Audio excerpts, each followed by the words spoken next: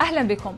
تقرير للأمم المتحدة يتهم قوات الأسد بإعدام أطفال في سن الثامنة وتعذيبهم واستخدامهم دروعا بشرية خلال عمليات عسكرية ضد معارضين.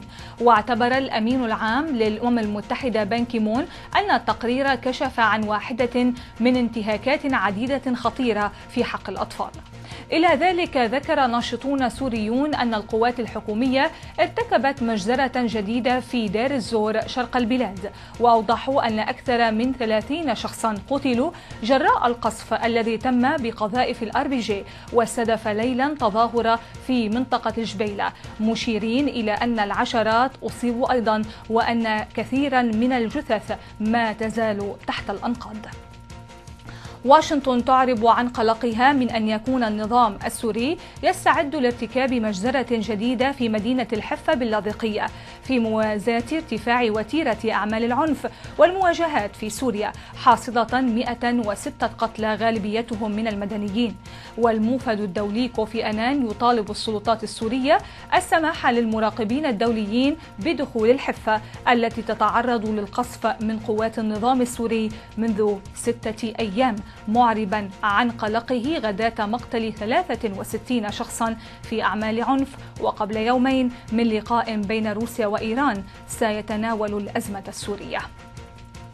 البرلمان المصري يعقد اليوم الثلاثاء بدعوة من المجلس العسكري جلسة مشتركة ثانية لأعضاء مجلسي الشعب والشورى لانتخاب الأعضاء المئة للجمعية التأسيسية المناط بها صياغة الدستور الجديد للبلاد رغم اعتراض عدد من الأحزاب الليبرالية واليسارية على التشكيل المزمع للتأسيسية.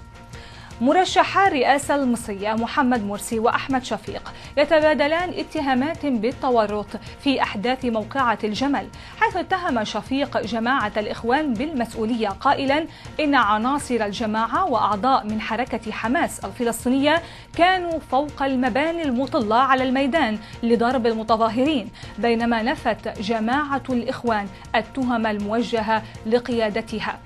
محملة شفيق المسؤولية خاصة أنه كان رئيسا للوزراء في تلك الفترة. الرئيس المصري السابق حسني مبارك يتهم السلطات بالرغبة في قتله في السجن وذلك بعد أن أكد مصدر طبي تدهور حالته الصحية وخضوعه مرتين الاثنين لعملية تنشيط لعضلة القلب بالصدمات الكهربائية بعد توقفه عن العمل.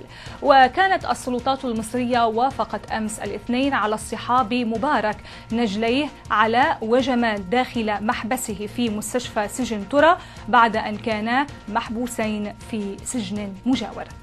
القيادات اللبنانية المشاركة في جلسة الحوار الوطني أمس الاثنين تتفق على رفض اللجوء إلى العنف والسلاح وصون السلم الأهلي رافضة تحويل لبنان مقرا أو ممرا لتهريب السلاح والمسلحين إلى سوريا أو إقامة منطقة عازلة داخل حدوده.